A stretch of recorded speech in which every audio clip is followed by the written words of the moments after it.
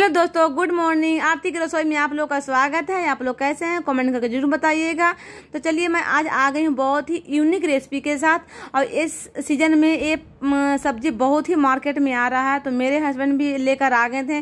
तो मैं देखी कि सब्ज़ी के थैले में ना पटल भी है। और पटल मुझे बिल्कुल पसंद नहीं है। तो मैं सोची, क्या बनाऊँ मैं इसका, जो कि मैं भी खा सकूँ? मेरे हस्बैंड को तो पसंद है, लेकिन मुझे उतना पसंद नहीं है।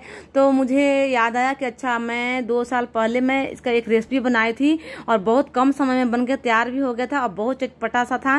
तो चलिए मैं वही बनाती हूँ। तो देखिए मैं यहाँ पर पाँच पटल ले ली थी उसके ऊपर का स्किन हटा ली थी और दोनों साइड का डंडल जो था डंडी वो डंडी को कटिंग नहीं कीजिएगा वैसे ही छोड़ दीजिएगा और कुकर में डालकर आधा गिलास पानी डालकर अच्छे से बॉयल कर लीजिएगा। अच्छे से मतलब कि जितना वो मैश हो सके उतना बॉयल कर लीजिएगा।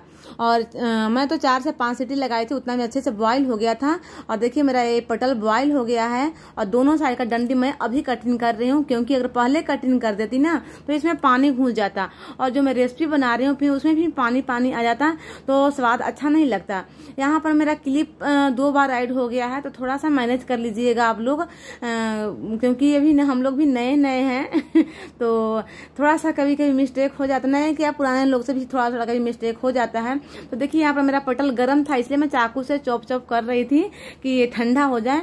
तब तक वो ठंडा हो रहा था तब तक मैं इसके लिए जो इसमें डालना डालना है मसाले, वो तैयार कर लेती हूँ। देखिए, यहाँ पर लहसन और मिर्ची को मैं थुर ली हूँ, कूट ली हूँ। आप लोग क्या बोलते हैं? हम लोग तो बिहारी, बिहार से हैं तो बिहारी लैंग्वेज में इसको थुरना बोलते हैं, कि मतलब थुर लो कुछ लो।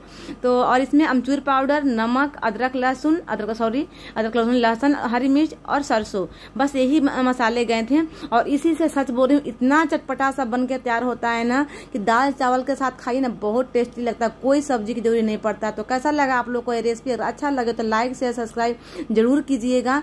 एंड मिलते हैं अगले अगले वीडियो में। बहुत ही यूनिक रेसिपी के साथ अगले वीडियो में।